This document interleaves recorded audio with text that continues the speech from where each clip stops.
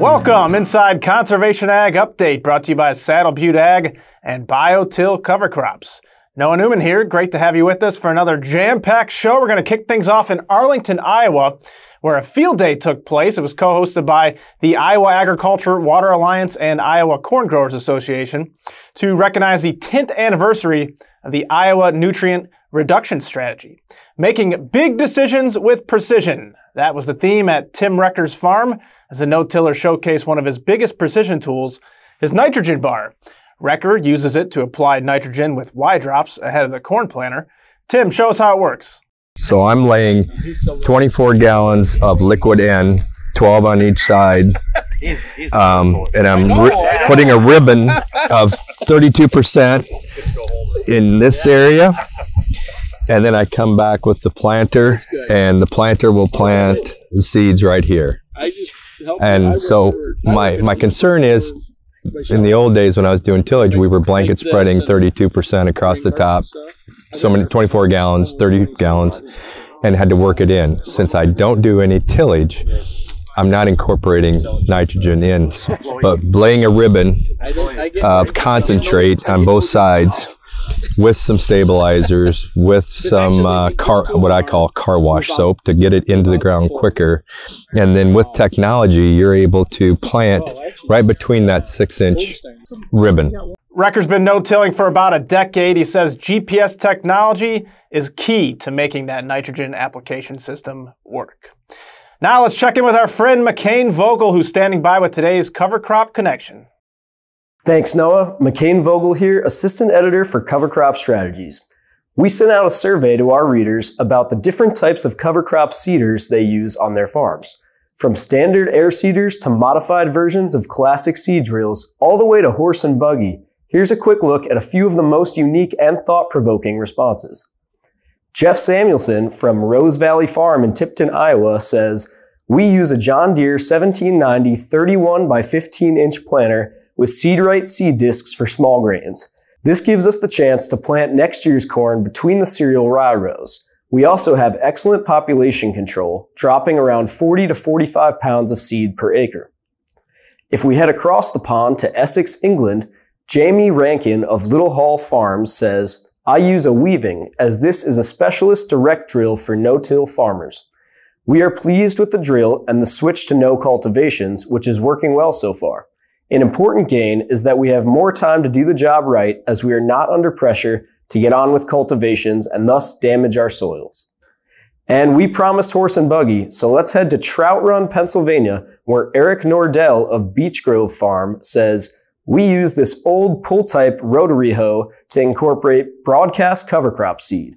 We often precede the rotary hoe with a spring tooth harrow, which was the case in this photo, planting a cover crop cocktail after no-till garlic. This combination seems to do a good job of incorporating the seed while keeping most of the residue near the soil surface and loosening the ground for good water infiltration.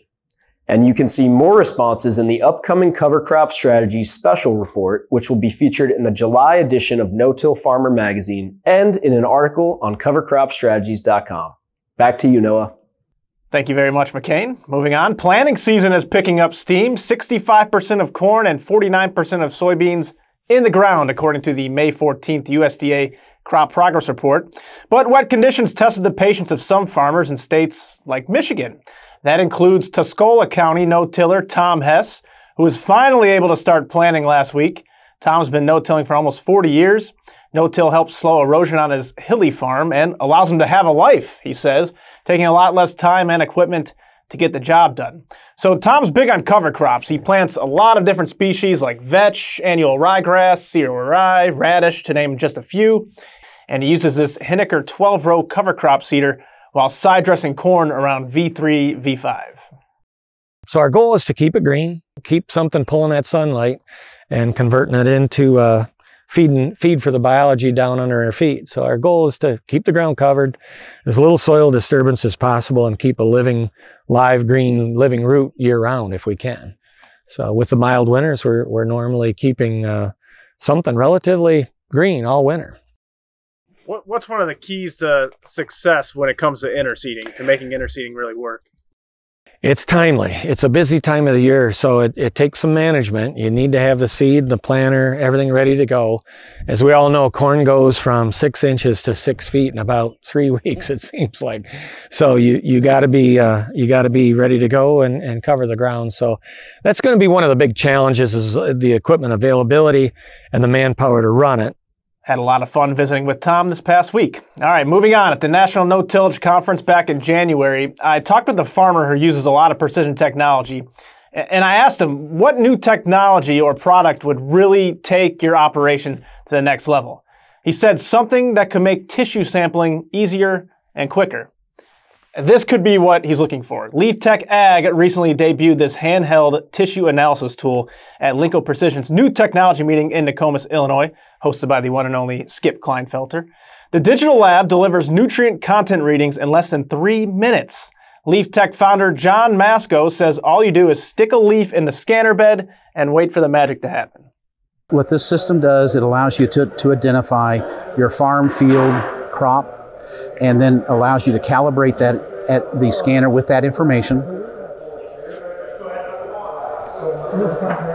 And then it allows you from there, you are able to, to capture the leaf non destructively, to look at the nutrient, and we collect about a three by five inch area and allows you to take a look at that leaf, say, Yep, I want it.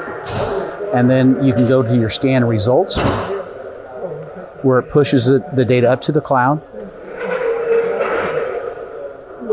where you can look at that geolocated data and allows you to see the data for all the crop nutrients plus leaf water content. Leaf water content is important because it helps us determine uh, water stress on the plant and then also gives us all the metadata of where it was and how it was used. More ingenuity on display in our video of the week coming to us from Columbus, Wisconsin, where Jeff Gaska built his own strip till rig.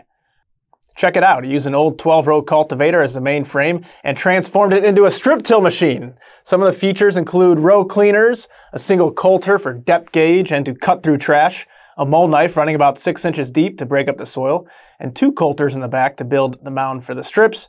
Optimus Prime has nothing on that. All right, have a video or photo you'd like to share, shoot me an email at innewman at lespub.com. I'd love to hear from you. That'll wrap things up for this week's edition of Conservation Ag Update. Thanks for tuning in. Until next time, for the latest headlines and stories, head to no-tillfarmer.com, striptillfarmer.com, and covercropstrategies.com. See you next time. Have a great day.